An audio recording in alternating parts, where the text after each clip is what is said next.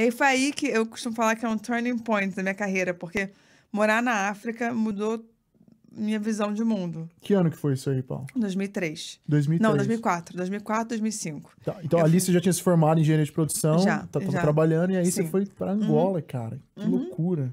É, pois é. E eu, quando eu fui, eu lembro quando eu fui, eles falaram assim: ah, não, vai ser uma oportunidade legal de. É... Lembro que assim, você recebia um dinheiro a mais pra você ser não estratégico, mas você fazer um projeto fora de casa. Mas eu lembro que assim, eu tava fascinada com ir pra África, sabe? Assim, eu.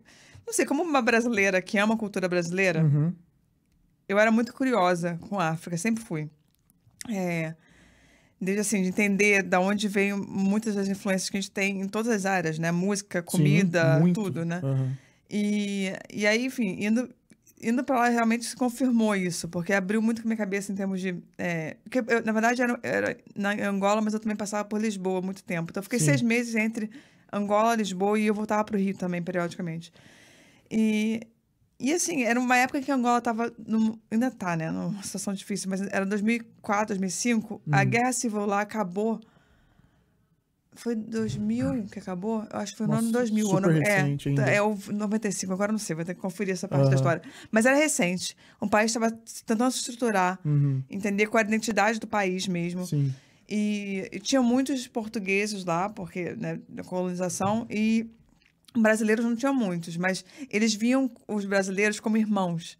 E eu acho que foi essa afinidade também que me, Te encantou. me encantou e me fez, sabe, tocou no fundo do meu coração. Eu Falei, Uhum. nossa, a gente é irmão. Por que, que os brasileiros não, não têm essa noção de que a gente é irmão? Uhum. Porque você vai pra Angola, todo mundo acha que a gente é irmão, entendeu? Até porque fomos E é- colonizados pelo mesmo. Pois é, exatamente, por Portugal, né? Uhum. E lá também em Angola eu acabei conhecendo sobre Cabo Verde, que eu sou apaixonada pela música de Cabo Verde, Uhum. Moçambique e os, e os outros países que foram colonizados por Portugal.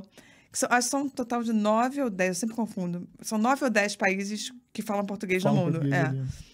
da comunidade de língua portuguesa. Tem até na Índia, né? Acho que Goa, né? Sim, sim. Tem uma parte da Índia ali. Acho que é Goa. É Goa, Macau? Ou... Eu, eu, é que tem até um, É Goa, uma- um conhecido que morou lá uma É, época. E eu fiquei assim, falei, caralho, É, velho, sério é. mesmo? Não, arquitetura- português, Sim, a arquitetura é portuguesa, eles falam português, é louco, né? É muito louco. É, não, é, é fascinante quando você aprende e vive isso tudo. Uhum. E eu acho que o Brasil, assim, mal comparando com os Estados Unidos, mas é um pouco. É um país muito grande, com uma cultura muito diversificada, e a gente não está muito atento a essas coisas. Uhum.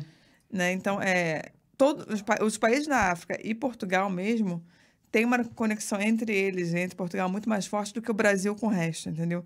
Até porque a população do Brasil é muito maior que todos os Aham. outros A combinados. gente tá muito ocupado É. com tanta coisa lá Pois dentro. é, é. Enfim, mas isso abriu muito minha cabeça. Eu tinha 23 anos. E aí, quando eu voltei para o Brasil, eu decidi que eu queria trabalhar com cultura.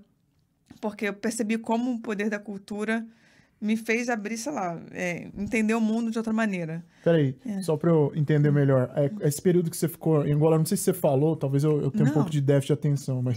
Imagina. Que é, o, o projeto que você trabalhava lá não tinha absolutamente nada a ver com cultura Cultura, não. ou, ou Não, música, nada a ver com isso, né? é. É. Era a consultoria para Accenture. E- pra e, é, empresa. o que, que tipo de negócio que eles fazem? Era, assim? so- era um. Falando sou aqui, vai rolar isso, tá? Não, tem Sim, problema. é, palavras em inglês no meio. Not a problem.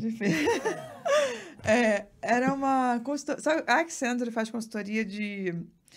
A maioria dos projetos é implementar novos sistemas em Ah, empresas. Então, por exemplo, sistema da SAP, da Oracle.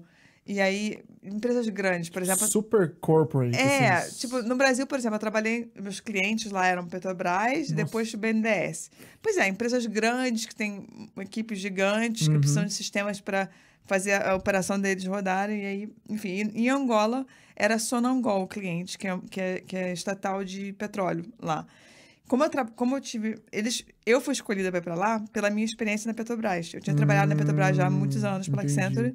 Quer dizer, eu trabalhei um total de sete anos na Accenture. Eu acho que com 20 e poucos anos, sete anos parece que é uma eternidade, né? Nossa, mas. É, mas é, 20 e né? poucos anos, cara. Você já tá É. lá sete. É porque eu fui estagiária. Eu também não lembro agora, já tem Entendi. bastante tempo isso. Mas eu fui estagiária por uns quatro ou, três, depois empregada por uns quatro ou três, uma coisa assim. É que estagiário no Brasil é, é diferente daqui. É, tipo, é como- quase como um emprego, é, né? É, é. né? É. Tipo, Depois, eventualmente, eles já te contratam. Pois é, é. Então, assim. Você começou uma carreira, então, já full power. É, assim, já não, muito comecei cedo na Aham. Accenture. Isso, é, eu devia ter, sei lá, 18, 19 anos no máximo. Uhum. E aí fui para Angola com 23. E Quanto, quanto tempo em Angola? foram seis meses. Não foi muita coisa, mas foi bastante suficiente para mudar minha cabeça, com certeza. Você já tinha esse olhar da, da, pra cultura, é, é, é, é uma herança de casa, assim? Seus Uhum. pais ou, ou irmãos? Você tem irmãos? Sim, sim, com certeza. Tem minha irmã Hum. é, mais nova. Legal. Mas é, o meu pai, ele é apaixonado por música e ele toca música de ouvido e... Ah, que legal. Então, assim, e a minha mãe também adora música. Então, em casa, eu, eu cresci, sabe, ouvindo MPB, sabe? Sempre antenada é, nisso aí. É, bem antenada. E, e fora isso, o- a parte da família da minha mãe tinha uma livraria no, no Rio, então Uhum. também cultu- livros e, enfim, literatura. Uhum. Então, sempre... Apesar meus pais eram engenheiros. São. São. Ai, meu Deus, não sei que eu falei. Ai, meu Deus. São engenheiros, mas eu aprendi muito. Talvez eram porque eles aposentou, um aposentou, outro não sim. trabalhava com isso. Ah, Mas é. Eles, apesar de serem engenheiros, são, sempre foram muito ligados à cultura. que legal. Então, sim, teve uma influência muito grande. Entendi. E eu sempre fu- fui fascinada, assim. Eu sempre viajei muito, tive a sorte, né? O privilégio de viajar muito com eles e Uhum. ver outras culturas. Uhum. E a gente foi, sei lá, para o México, para Argentina, para a Europa. Então, sempre, as viagens que a gente fazia eram sempre, tinham uma pegada cultural também.